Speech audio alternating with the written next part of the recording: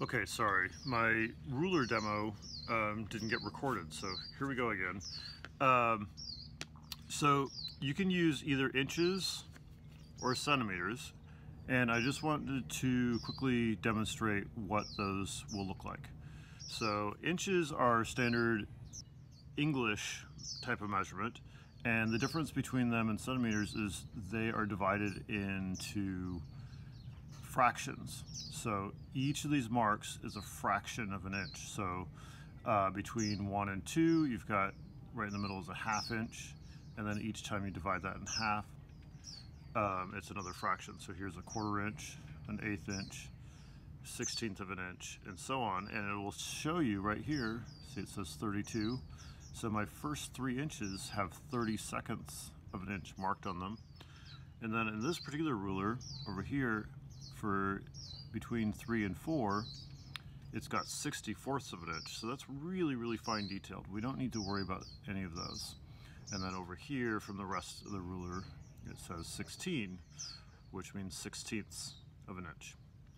Okay, so each of these marks, basically you start with one inch all the way across, and you have half, and then you divide that in half and you get a quarter, divide that in half and get an eighth, divide that again and get a 16th.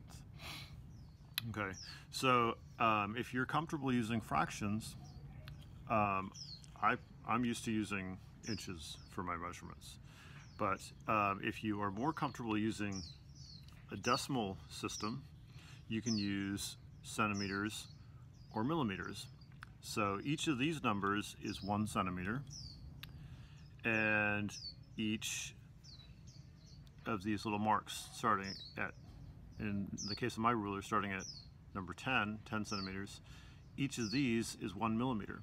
So the way to remember is one millimeter equals 0.1 centimeters, or one centimeter equals 10 millimeters.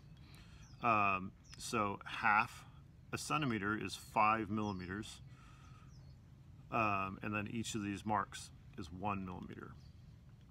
Okay, so um, this particular ruler has half millimeters also marked on it.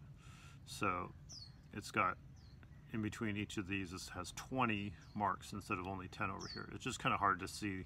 We don't need that much accuracy again. For some people it's easier to multiply and divide decimal points because you can use your calculator to do that really easily. So if you're more comfortable using centimeters, that's fine. Um, if you're using inches, just remember that anytime you want to divide a fraction in half, you just multiply its denominator by 2.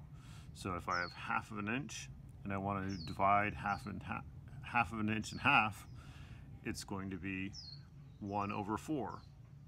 The denominator, the bottom number, is just multiplied by 2. So that's 1 quarter or 1 fourth.